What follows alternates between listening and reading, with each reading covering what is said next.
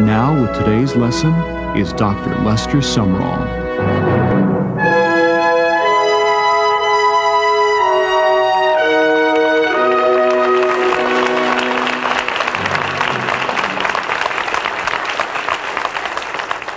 Thank you. May I bless you, please. Father, bless these. May they learn, may they know, may they serve it up to others. Make it a blessing, we pray. For your anointing and your goodness and mercies and blessings to these, we thank you. In Jesus' name. And all the people said, Amen. God spoke to my heart and said that um, every major evil in our times was a blow at immortality. And uh, I'd, I'd never dreamed, you know, of it and had never read anything like that. And so I began to search. And, and it began to come like a roaring water, you know, toward me. As I would uh, write down a major sin in America, uh, instantly God would say, it's a blow against immortality. And in, beginning in our lesson tonight, and for all these four lessons that we will take uh, during this session, uh, you will see that all of them are a blow at what God created man for. God created man specifically to live forever. And, uh, and God is determined that he, he shall live forever. Uh, and if, if not upon this earth, then he shall live forever in eternity. How many believe that? Yeah, if you, if you don't, you're in the wrong class. Uh, but we're glad you're, glad you're right here. Uh, one gentleman today in our class says, I'm glad to see that you smile uh, sometimes. Uh, he said, I, I, like your questions and answers most, because that's when you smile more. Well, if it takes questions and answers to get me to smile, maybe we'll start with them. Oh, no, that's in another class, excuse me. Uh, we, we, are, we are dealing with uh, what is uh, called Lesson 8 in your teaching syllabus. It likely will not be that in the number of lessons that we've already taken, but that's how far along we are uh, with, with our teaching. We have covered some tremendous material relative to what is immortality, that man was created for immortality. There's a battle against immortality, and uh, the marching immortals, which happens to be us. And this lesson has to do with the physical death and immortality. Man's most frightening mystery is what happens to him at that point in recorded time when he ceases to live on the face of this earth. Where does he live further? When the curtain is drawn, called death, where does he live at that point in time? And then we come to the uh, physical things if this is an inexplicable question, uh, can it be explained? Can the human personality possibly survive death? Is man immortal? Possibly it is the number one question that can ever enter into the human mind. In 1 Corinthians chapter 15 and verse 24, says, So when this corruptible shall have put on incorruption, and this mortal, shall have put on immortality, then shall be brought to pass. It shall come to pass at that point saying that it's written, death is swallowed up in victory. And so there will come a point in time when there is no more death. Uh, there will be no more a separator uh, from the soul from the body. And, and, uh, and at that point, at that point, death will be swallowed up in victory, the victory of immortality. And that's what these lessons are all about. Possibly, we could call death the great equalizer because kings die, queens die, and par- poverty ridden people die. And it's the great equalizer. Uh, whatever station in life you may have, when it comes to the point of death, it's democratic. All men are equal at that point. So physical death is that great equalizer. It is the phenomenon of the greatest interest on planet Earth. There is no interest to, uh, in any way, come, come to that point in interest. It's the total appointment. Uh, every person that has ever lived will have to come to it unless the Lord comes and receives us unto himself in this generation. In Hebrews 9 27, as it is appointed unto men once to die, but after this, the judgment. And so it is a total appointment. No one escapes it. No one can get around it. It is a total appointment for the total human race. In a generation of uncertainty that you and I live in today, you can certainly count on death. And so if you say everything's uncertain, you've missed one thing. Well, there are two things. They say that our taxes are certain. And they say that death is certain. So we do have two certainties that we must deal with. Death has become, possibly you've read of this, death has become one of the most popular subjects in studies in the universities and colleges of our, of our country and our land. Students are intensely interested. They have group seminars on the subject of death. In one school, I was reading where the students lie in a casket or a coffin, seeking to try to, in some manner, understand, comprehend, or to have some kind of relationship with what we call uh, death. Today, scientists take a, a tremendous interest in death and, and using it for experiment. Some are doing research studies on far frontiers of human existence. Uh, for example, they're even freezing the dead to see in some future time if they cannot further experiment on the person that died at this point, freezing the total, the total body and hoping one day to, uh, to bring it out of refrigeration and see if they can revive it and so forth. Uh, I said here, people are dying to know where, when they're going to die.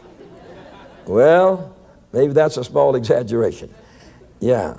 Uh, they, they know they're going to die. All men know that. And it's not so important you're dying, it's where you go after you're dead. That is the most important thing. Uh, I am sure that it is the most dramatic mystery that man has today, and it should be given a lot of attention, and, and that's the reason why we are delighted to study it. We have the iron curtain, the bamboo curtain, and with all these mysteries behind those things, death is still our greatest curtain. Uh, it hides the life of the, the life after death. It just has a wall there. People have sought to get through that formidable wall and they just have not been able to do it. And so in death it divides time from eternity and we understand that it, it divides space uh, from the beyond. It, it divides the finite from the infinite. And man is just not equipped mentally or spiritually to adequately apprehend eternity or experience after death. Uh, who wants to be the late Mr. So and so? We normally say Mr. Jones, providing there's nobody by that name present. Uh, but we, we, we, we want to be the person that's alive today, uh, using all the facilities and faculties that God has given us. Now, in your point number six on page 42, death is an enemy. I think most of us would recognize that without any explanation to it. Death is the greatest enemy uh, that man has. In the Revelation, which is the last book in the Bible, in chapter 21 and verse 3, I heard a great voice out of heaven saying, Behold, the tabernacle of God is with men, and he will dwell with them, and they shall be his people, and God himself shall be with them and be their God. That's the new Jerusalem that's going to come down, and we're going to dwell with God forever. And at that point, God shall wipe away all tears from their eyes, and there shall be no more death. And there shall be no more death. How many still believe the Bible? Amen. And there shall be no more death. And isn't that, isn't that simply, isn't that simply amazing? In 1 Corinthians 15 and 26, it says, And the last enemy that she be, shall be destroyed is death. And so he adds up to be the last of our enemies that we, our ultimate enemy is death. Uh, that robs us of so much. most, most people die before their, before their, even before their, uh, the time that belongs to them. And uh, some go a little over the time that's been allotted to them. Uh, just when you are going great, death can stop you dead in your tracks. And, and, and so it is the last enemy, and it, it will be destroyed. Everybody glad for that? Say amen. amen. It is the ultimate enemy of mankind. Death is not a friend to man, nor to anybody else or anything else. Death is not a friend. Death is a curse. God said, in, in, in the day that you rebel against me, you will die. That was death. in Genesis 2.17, but of the tree of the knowledge of good and evil, thou shalt not eat of it, uh, for in the day that thou eatest thereof, thou shalt surely die. Death. So death, death came as a curse against uh, rebellion. When, when man rebelled against God, uh, the, the, the, fruit of rebellion was the curse of death. Uh, all human persons experience life after death, or whether good or evil, I mean. Uh, they'll even experience eternity without God or with God. They'll either experience eternity in heaven or hell. Uh, we are all immortal, every human being. So, but with us, it's not the, the, the quantity of living, it's the quality. Uh, living with God in heaven is a lot better than living in the hell with the devil. He, he is so disagreeable, nobody wants to live with him. How many believe that? Well, don't go there then. Be sure to, don't do that. God only, God only has contact with a total of all dead. Uh, now, now, witchcraft does not, they're, they're liars. They're, they do not. God only has, ha, has contact with the total of all dead. The, the Bible answers every inquiry concerning the dead. If you have an inquiry about it, uh, your answer is in the book of God, and, and you can get an adequate answer. Pagans have a special relationship with cemeteries. Now, I'd like to teach you for a half an hour on that, of course. Uh, they believe in vampires, zombies, ghosts, ghouls, and they have a very strong relationship with cemeteries. Uh, we, we don't. We don't. We have a special relationship with the resurrection of the dead. That's our keen relationship. In Acts chapter 7 and verse 23, uh, we read the story of the first martyr. And, and this is in the relationship of the resurrection and immortality. Stephen knew death only as a separation of his body into his eternal habitation. That, and, and so that's the, the, the quality of death. In Acts 7.53, who, who have received the law by the dispensation of angels and have not kept it, when they heard these things, they were cut to the heart, gnashed upon him with their teeth. That was the religious people in Jerusalem, and that was Stephen. But Stephen, being full of the Holy Ghost, looked up steadfastly into heaven and saw the glory of God. I'd, I'd like for you to pause there. I always get excited when I. when he saw the glory of God. The, the glory of God is visible. The glory of God is visible. I'm looking forward to seeing the glory of God. I, have seen the crown jewels of, uh, of uh, England, and they do sparkle. And I have seen the, the crown jewels of China, and, and they, they are rare and beautiful. But when we behold the glory of God, what a day, what a day. And he saw Jesus standing at the right hand of God and said, Behold, I see the heavens open, the Son of Man standing on the right hand of God. Then they cried. That was that religious bunch that didn't, didn't have love in their hearts. Then they cried with a loud voice and stopped up their ears and ran upon Stephen with one accord, cast him out of the city and stoned him. And the witnesses laid down their clothes at, the, at a young man's feet whose name was Saul. And they stoned Stephen as he was calling upon God and saying, Now, Lord Jesus, receive my spirit. When you move from, from the dimension of earth to the dimension of heaven, you see, at, at the point of death, then that is a glorious experience. It is a, it is a glorious experience. Listen to some of the things the Bible says regarding this subject. And in John 11 25, Jesus said unto her, I am the resurrection, I am the life. He that believeth on me, though he were dead, yet shall he live. That was just what Stephen experienced. They, they stoned him with stones until his physical life was crushed. But his spiritual life came tremendously alive in that he saw the glories of heaven and that Jesus had gotten up off his throne and was looking at him. That'll get you excited. Uh, Jesus also said in, in Luke 23 and 43, and Jesus said unto him, Verily I say unto you, today thou shalt be with me in paradise. So, so the death on the cross for the thief and also for Jesus, was not a terminal point. It was not an end of anything. It, it was not oblivion. Uh, it, was, it was really the wall that, that, that separates eternity uh, from time. And when he passed through that dimension wall, he said, Today thou shalt be with me in paradise. And he had passed from this world of, of feeling and touch into that world of the supernatural and of the eternal world where God is. It's a good passing. The Lord Jesus further said in John 14, 1, Let not your heart be troubled. You believe in God, believe also in me. In my Father's house are many dwelling places.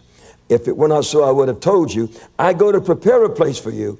And if I go and prepare a place for you, I'll come again and receive you unto myself, that where I am, there ye may be also.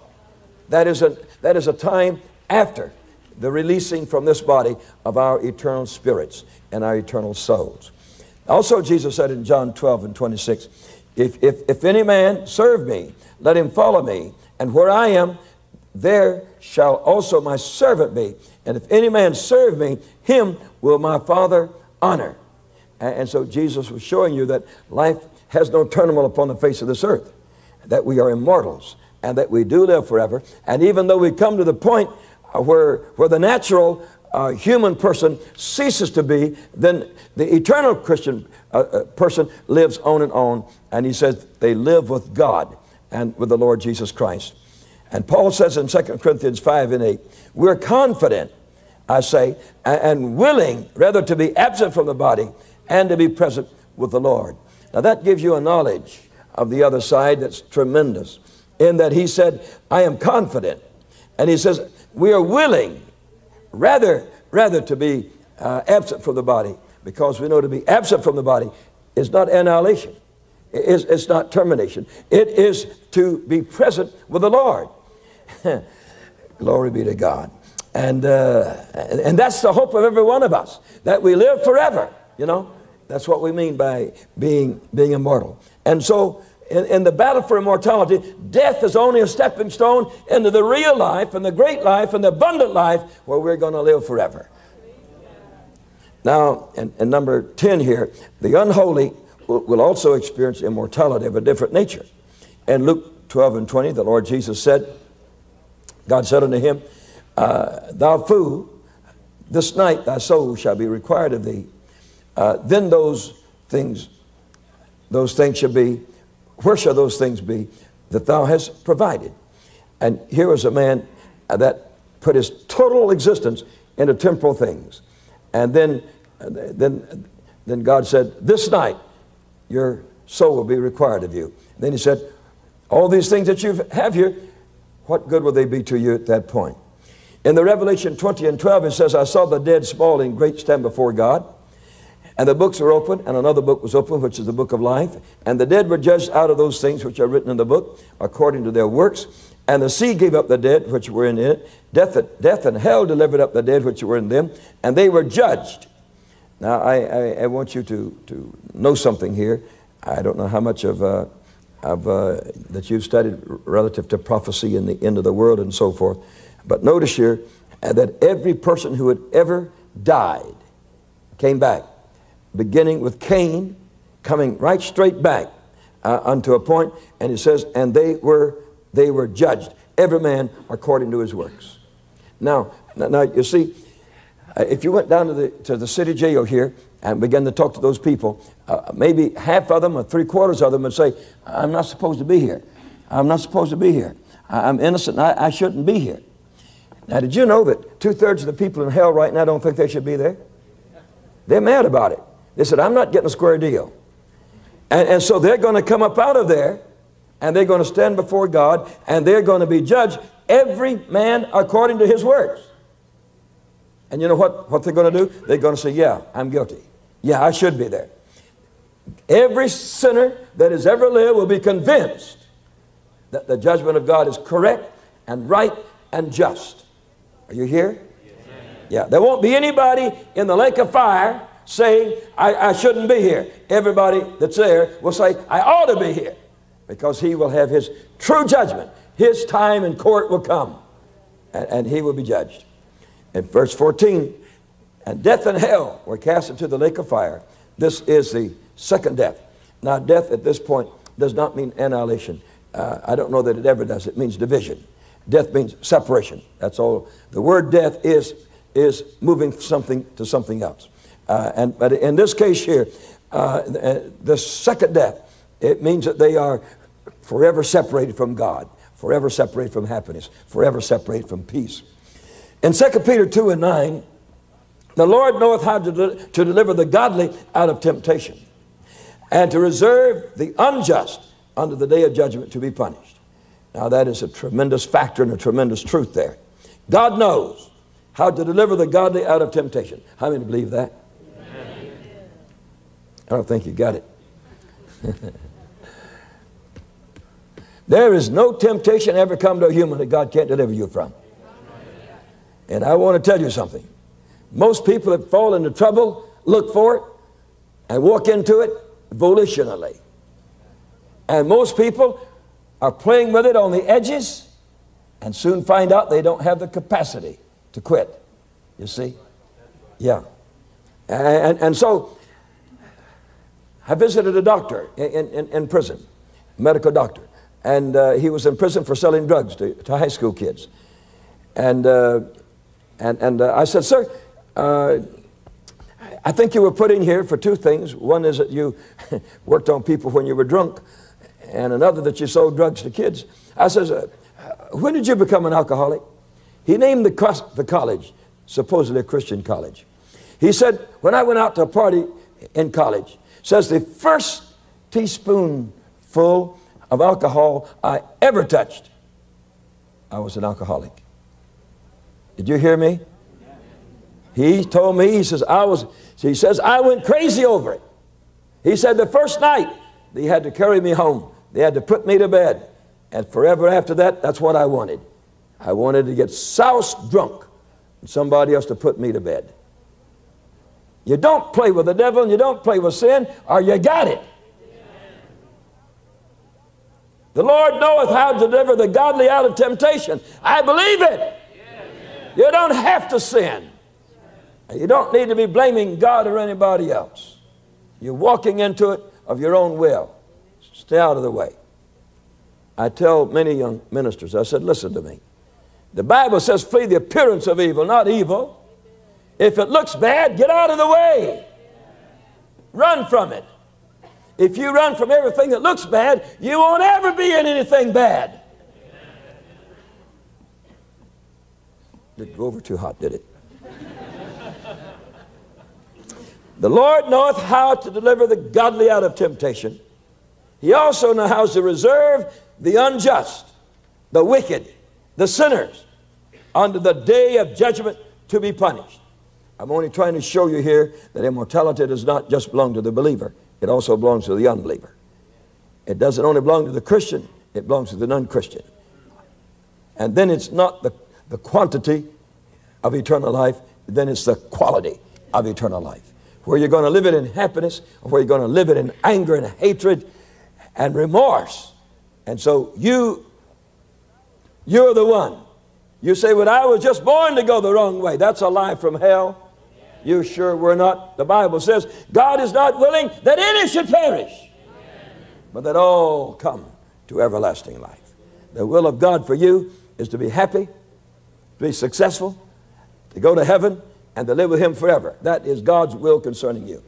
And there is no other will for God. God is never happy when you're hurt. He's never happy when you're sad. He is never happy when you're lost. God so loved the world, He gave His only begotten Son that whosoever believeth in Him should have. Hey, that's immortality for you. To live with God forever and ever.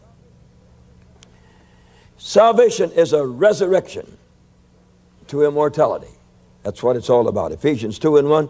And you hath he quickened. That means made alive. Who were dead, dead in trespasses and sins. Wherein in time past ye walked according to the course of this world, according to the prince of the power of the air, the spirit that now worketh in the children of disobedience. Same thing that the devil has worked in his bunch used to work in us. It did in me. But God took it out. Can you say amen? and hath raised us, us say us, has raised us up together. say together. Yeah. Let's keep it that way. The devil offers to raise us up separately, put us all in a little cell by ourselves. I've been living a long time, and ever since I have been in the ministry, I've seen the devil wanting to separate God's people into small groups. And I don't know where Christians ever got it in their head they're supposed to be with a small group. And then they get angry at me because I say a little church is a little place where people, where little people with little heads and little hearts get together to talk about little things themselves. You say, My church is little. If Jesus is there, it'd only be little one time, and that's the time you meet the first time. Because they'd go out and tell everybody about it, and the next time you met, Jesus would be there, and a lot of visitors would be there. Glory be to God forever. That's popular, isn't it? Anyway. He's raised us up together. He's made us to sit together. Say together. together. In heavenly places, where we are right here, in Christ Jesus. Now, now that salvation brings us into a resurrection relating to immortality. Ephesians 4:21 says, "If so be that ye have heard him and have been taught by him. The truth is in Jesus that ye put off concerning the former conversation the old man, which is corrupt according to the deceitful lust, and be renewed in the spirit of your mind. Renewed.